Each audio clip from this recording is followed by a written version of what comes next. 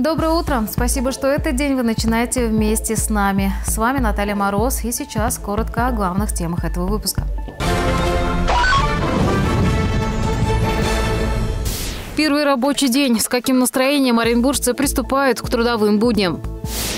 Начинаем четверть очно. Школьники возвращаются за парты после новогодних каникул. Добраться до глубинки. Врачи городских районных больниц получают ключи от новых машин. Контроль за движением наличных вступает в силу поправки в антиотмывочный закон. Мороз и ветер, снег и потепление. Какой погоды ждать в ближайшие семь дней? И начинаем с предупреждения МЧС о неблагоприятных погодных условиях. В ближайшие часы местами по области ожидается резкое похолодание. Максимальная температура воздуха понизится на 10 градусов и более. Подробный прогноз погоды на ближайшие 7 дней от Оренбургского гидромедцентра чуть позже в нашей программе, а пока к другим темам. Итак, сегодня первый рабочий день года после десятидневного перерыва. Как начались трудовые будни? Этот вопрос мы решили задать оренбуржцам. С каким настроением они вышли на работу и какие советы дают тем, кому этот шаг дается нелегко. Самые интересные ответы далее в экспресс-опросе. Нет, не тяжело, хорошо. Отдохнули хорошо, с новыми силами. Мы и раньше выходили. В пятницу выходили, работали. Такие да, мы преподаватели, и поэтому уже соскучились по детям. Но дети еще не вышли, но мы уже вышли, готовимся. Утром было просыпаться тяжело. А, привыкли спать, отдыхать, да. И сегодня было необычно встать в 7 утра, собраться и уехать на работу. Вот идем, дышим свежим воздухом, радуемся теплой погоде. А мы, знаете, мы отдыхаем. Не, не, я вообще не. Я на пенсии, это в отпуске. Праздники, они уже, так сказать, порядком надоели, поэтому поработать это тоже замечательно. Какой совет, чтобы быстрее влиться в рабочие будни? Не знаю, какой с хорошим настроением просыпаться, и тогда все будет хорошо. Гулять, наверное. Вот мы поработали, и теперь пошли погулять, чтобы не забыть, как хорошо и не работать. Нужно любить свою работу и приходить с нее радостью и с удовольствием. Денег хочешь – работай. Школьники Оренбургской области вернулись за парты после каникул. Началась третья учебная четверть. Во всех общеобразовательных заведениях по-прежнему действуют противоэпидемические меры, которые были введены в начале учебного года. Это обязательный входной фильтр с измерением температуры тела. Также должны быть организованы разные входные группы, а уроки проходить в отдельных классах и начинаться в разное время. Детские сады также работают в обычном режиме, но с соблюдением всех требований Роспотребнадзора. В Министерстве образования региона уточнили, что после каникул в школу не нужно предоставлять справок о состоянии здоровья. И в понедельник стало известно, что губернатор Оренбургской области Денис Паслер продлил действие указа о введении режима повышенной готовности на территории региона в связи с распространением коронавирусной инфекции. Принципиальных изменений нет, за исключением продления срока до 25 января. Для лиц старше 65 лет по-прежнему действует режим самоизоляции. Также до конца месяца продолжают действовать ограничения для детских игровых комнат. По-прежнему запрещена деятельность кальянных и точек продаж разливных напитков. Работа заведения общепита, кроме работы на вынос и доставки, также ограничивается по времени с 6 утра и до 11 часов вечера. При этом объектам общественного питания, расположенным в придорожных зонах и перед участками дорог, где ограничено движение, позволяется по согласованию с органами местного самоуправления изменять свой режим работы. Напомним, речь идет о ситуациях, когда из-за неблагоприятных погодных условий будет временно ограничено или прекращено движение транспортных средств по междугородним трассам. Ну а сейчас к новым данным по коронавирусу в Оренбурге. За первые 10 дней Нового года в области от коронавируса погиб 41 человек. По информации оперативного штаба, за последние сутки зафиксировано еще 5 летальных случаев. В общей сложности с начала пандемии с диагнозом COVID-19 умерли 389 жителей региона. Общее число заразившихся составляет 30 669 человек. И продолжение медицинской темы. Более полусотни автомобилей отправились в медицинские учреждения Оренбургской области. Ключи от новых машин вручили главным врачам городских районных больниц региона в рамках реализации программы «Модернизация первичного звена здравоохранения». 55 новых автомобилей, 21 легковушка и 34 полноприводных внедорожника. На этих машинах участковые врачи смогут выезжать к пациентам в отдаленные населенные пункты области. Планируется также, что на них оренбуржцам будут доставлять необходимые медицинские препараты. Правительство региона отмечает, регулярное обновление автопарка – важная задача для первичного звена здравоохранения. возможность наших специалистов первичного звена, быстро, комфортно доехать до наших граждан одно из таких требований, условий и наших задач. Есть, конечно, еще машины, которые нужно заменить. Но мы будем надеяться, что за это время поменяем. Учитывая сейчас особые условия, этот автомобиль нам очень нужен. Потому что та нагрузка на врачей, которая сейчас ложится, нам дорога каждая машина. До конца года муниципалитеты планируется направить еще более 70 автомобилей. Реализация программы модернизации первичного звена здравоохранения затрагивает не только обновление техники. Она включает в себя мероприятия по строительству, реконструкции, капитальному ремонту объектов здравоохранения и приобретению медицинского оборудования. Сейчас ненадолго прервемся и вот о чем расскажем далее в программе. Контроль за движением наличных вступает в силу поправки в антиотмывочный закон. Мороз и ветер, снег и потепление. Какой погоды ждать в ближайшие семь дней? Победы и поражения. Спортивные события начала года в нашем обзоре.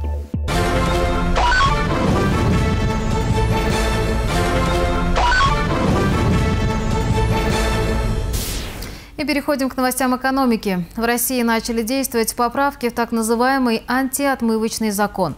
Государство усиливает контроль за операциями с наличными и безналичными расчетами. Речь идет о федеральном законе номер 115. Теперь об операциях с наличными на сумму свыше 600 тысяч рублей будут сообщать Федеральную службу по финансовому мониторингу.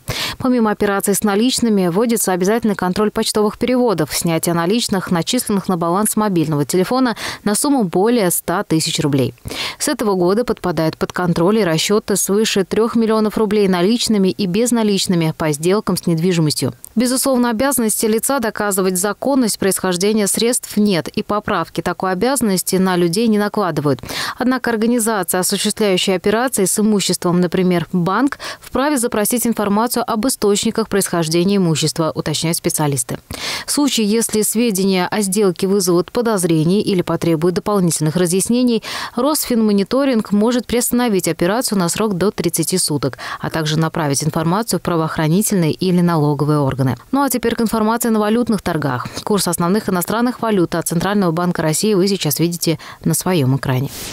А сейчас возвращаемся к теме погоды. Накануне она доставила оренбуржцам немало неприятностей. Плохие погодные условия стали причиной задержки рейсов. 10 января ледяной дождь помешал вылету шести самолетов из аэропорта Оренбурга. Четыре из них направлялись в Москву, один в Санкт-Петербург и еще один в Екатеринбург. Также воздушная гавань несколько часов не принимала рейсы в степную столицу. Известно о трех отложенных полетах. Сейчас все маршруты восстановлены. Неспокойно было и на земле. Из-за непогоды были перекрыты трассы. Ограничения действовали на автодороге Каменноозерная-Медногорск на участке с 12 по 34 километр. Это территория Оренбургского и Саракташского районов. Движение всех транспортных средств останавливалось на два с половиной часа. Сейчас ситуация на дорогах также стабилизировалась. С последствиями обильного снегопада продолжает бороться по всей области. По данным метеорологов, в регионе за выходные осадков выпало в полтора раза больше нормы. Как сообщает в администрации Оренбурга, работы по уборке снега на дорогах и во дворах многоквартирных домов идут круглосуточно. Только за минувшую ночь было вывезено почти 9 тысяч кубометров снега. Справляются ли коммунальщики со своей задачей и как горожане оценивают их работу, выяснили наши корреспонденты.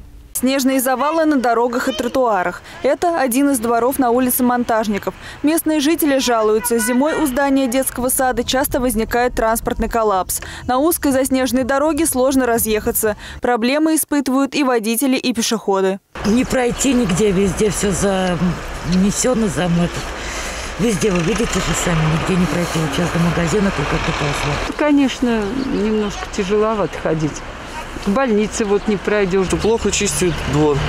Машину не поставишь. Вообще плохо подъехать. Даже буксует тут. И даже скорая вот бывает заехал в трасс, вот в наш двор.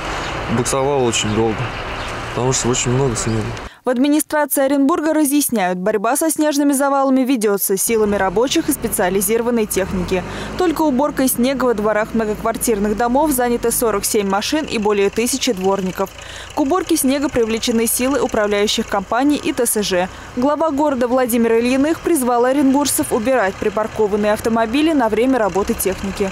Давайте поможем коммунальщикам освободить Оренбург от снега. Уберем припаркованные вдоль дорог автомобили, не будем мешать уборочной технике. Жители многоквартирных домов, если ваша управляющая компания чистит парковку у дома, откликнитесь, уберите на время свои машины.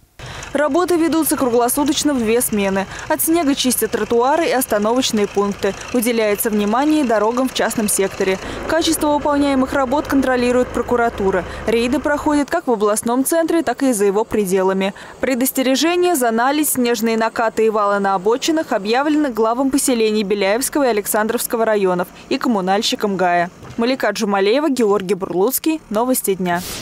Об осадках можно забыть до выходных. Об этом сообщает в областном гидромедцентре. Однако оренбуржцев ждет новое испытание – похолодание. В отдельных районах температура может опуститься ниже 30 градусов Цельсия. В целом в Оренбурге на первой рабочей неделе года ожидается нестабильная погода. Антициклон устроит температурные качели. К середине недели в регионе ожидаются морозы до 30 градусов, а уже к выходным снова пойдет снег. И столбики термометров вновь приблизятся к нулевой отметке. Подробный прогноз на ближайшие 7 дней от Оренбургского гидромедцентра смотрите в наших ближайших выпусках новостей. Сегодня свой профессиональный праздник отмечают работники прокуратуры России. В этом году ведомству исполняется 299 лет. 12 января 1722 года именным указом Петра Великого был впервые учрежден пост генерал-прокурора. Сегодня численность сотрудников уже идет на тысячи. А в их рядах немало и представительниц прекрасного пола. Один день из жизни прокурорского работника в нашем следующем сюжете. Утро Татьяны Симоновой начинается не с кофе. В руках хрупкой леди очередное уголовное дело. Несколько томов запутанной истории и десятки мелких деталей. Как и три века назад, задача помощника прокурора – досконально разобраться во всех аспектах, собрать пазл преступления воедино и выдвинуть государственные обвинения. Изначально, когда я шла в систему органов прокуратуры, а, я понимала, что необходимо быть твердым человеком, стрессоустойчивым – Ввиду этого я осознавала, что во мне есть указанный стержень, поэтому я чувствую себя уверенно в процессах. Зал суда. Здесь напряженное лицо помощника прокурора сменяется непредвзятой маской гособвинителя. Никаких эмоций, только факты и ссылки на статьи Уголовного кодекса. Таким образом, между вышеперечисленными телесными повреждениями, а именно тупой сочетанной травмой тела и наступившей смертью потерпевшей, имеется прямая причинно-следственная связь. Улыбка на лице Татьяны Симоновой появляется дома. И причина не только в профессиональном празднике. Здесь ее ждет муж и маленькая дочь. Твердая как сталь сотрудник прокуратуры превращается в милую домохозяйку. А Уголовный кодекс в руках сменяет сборник сказок. Мы стараемся любое свободное время проводить вместе, и гулять вместе, и дома проводить вместе, а, играть в какие-то совместные игры. Вот это моя отдушина, моя опора и поддержка, моя семья. Женщины по своей природе склонны к таинственности, говорил герой Конан Дойля, сыщик Шерлок Холмс. Небольшой секрет есть и у Татьяны. С детства она играет на скрипке. После трудового дня, признается девушка, музыка помогает расслабиться и снять напряжение.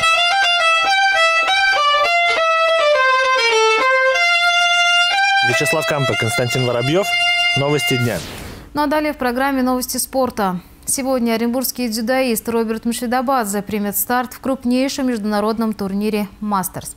Соревнования пройдут в столице Катара, Дохе. Я передаю слово моему коллеге, спортивному обозревателю РТ Анатолию Юденчу. Спасибо, Наталья. Эти элитные соревнования собирают на татами лучших дзюдоистов планеты, победителей и призеров Олимпийских игр, чемпионатов мира, континентальных первенств и турниров мировой серии. По количеству набираемых рейтинговых очков «Мастерс» уступает только чемпионату мира. Одна из самых многочисленных на турнире – сборная России, а один из ее лидеров – оренбуржец Роберт Мшвидобадзе. Он двукратный чемпион Европы, причем второй титул завоевывает всего полтора месяца назад. Роберт выступает в самой легкой весовой категории до 60 килограмм и из россиян начинает первым. Наши команды зальных видов спорта, волейбола и баскетбола в наступившем году уже успели провести по два матча. И выступили похоже – победа и поражение. Оренбургский нефтяник в первых числах января принимал единоличного лидера волейбольной суперлиги, многократного чемпиона страны «Зенит Казань». В гостях в четвертом туре перед самым уходом на карантин оренбуржцы не смогли оказать фавориту серьезного сопротивления – 0-3. Но с тех пор нефтяник выглядит гораздо увереннее. В каникулы, да чтобы еще и увидеть один из сильнейших клубов Европы, зал Олимпийского заполнен на максимально возможные 50%. И игроки стараются сделать все возможное в благодарность за поддержку. В стартовой партии хозяева действуют образцово и ни в чем не уступают титулованному сопернику. Как следствие, 25-22 в нашу пользу. Второй сет, как в зеркальном отражении, 22-25. Когда против тебя не играют тактически, просто получают удовольствие, играют на грани риска. Я сейчас говорю о нефтянике. Когда ты встал в 5 утра, прилетел по объективным причинам сегодня прилетели, не от того, что неуважение к команде, то, в общем-то, матч такой, напряженный. Равная борьба и до середины третьей партии 13-13. У казанцев травмируется и покидает площадку один из ключевых игроков – Волевич. Но глубина скамейки «Зенита» такова, что отряд не замечает потери бойца. Гости мощно уходят в отрыв 25-17. Мне показалось, в третьей партии ребята бросили играть уже. А, соперник, э, наверное, под конец уже. Вот. Но в принципе, игра могла качнуться и в любую сторону. Во второй партии очко очко шли до середины. Четвертая партия завершает встречу. Оренбуржцы, что называется, упираются и до счета 8-8 держатся достойно. Однако в обойме «Зенита» такие игроки экстра-класса, как Михайлов, Беднерш и же с ними. Опытнейшие казанцы диктуют условия и забирают сет 25-19. Казань побеждает 3-1. Сильный соперник, э, команда очень высокого уровня. Всегда интересно с такими командами играть. Да, в принципе, в целом всегда интересно играть с любой командой.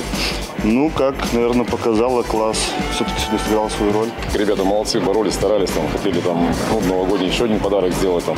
Но ну, «Зенит» серьезно подошел. Приехали полным составом во главе с главным тренером, поэтому после череды поражений они хотели реабилитироваться нас, а мы мы мощно сопротивлялись, как могли. То, что нефтяник на правильном пути, подтверждает воскресная встреча в Сургуте, перенесенная с пятого тура. «Газпром Югра», провально начав сезон, в двух последних турах обыгрывает Енисей и Белогорье. Уверенно начинает и с нами 25-20. Нефтяник отвечает идентично. Третий сет сибиряки берут 25-22, а оренбуржцы вновь возвращают долг 25-22. И в напряженнейшем тай-брейке наши берут вверх 15-13. Есть четвертая победа в розыгрыше. И сразу последует вторая игра там же, в Сургуте. Баскетболистки «Надежды» после краткого новогоднего празднования хорошо разминаются 3 января на безнадежном аутсайдере Нагийском «Спартаке», не побеждавшем еще ни разу. К большому перерыву оренбурженки ведут 47-17 и спокойно доводят итоговый разрыв до 34 очков. А вот в Москве со столичным МБА легкой прогулки уже не получается стартовой четверти какой-то антибаскетбол. Счет 7-6 в нашу пользу. К большому перерыву на очко впереди уже хозяйки, которые в третьей четверти предпринимают решающий рывок 26-15. Картина напоминает октябрьский матч первого круга. Тогда в завершающем игровом отрезке оренбурженки переламывают игру и побеждают. Но не в этот раз. Мяч упорно не летит в кольцо. Не срабатывает ставка на дальние броски. Всего два точных в 20 попытках. За всех отдувается Моник Биллингс, показывая свой обычный высокий класс. 18 баллов и 12 подборов. Но один в поле не воин, и «Надежда» терпит крупное поражение с разницей в 17 очков. МБА, в свою очередь, одерживает шестую подряд победу и оттесняет оренбургскую команду с третьей строчки турнирной таблицы. На этом все. Этот выпуск новостей, а также другие телепроекты ОРТ вы всегда можете найти на нашем официальном сайте media56.ru. Всего доброго и хорошей вам трудовой недели.